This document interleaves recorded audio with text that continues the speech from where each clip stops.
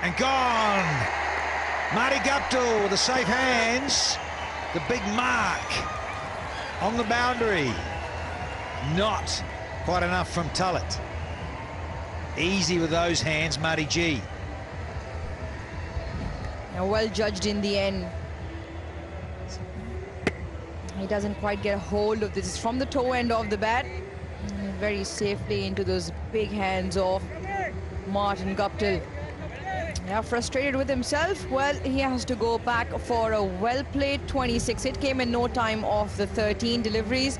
Lahore now lose the fifth for 156. Bucket hands of his was on, certainly was. He just didn't quite execute. He's closed that blade right at the split second. And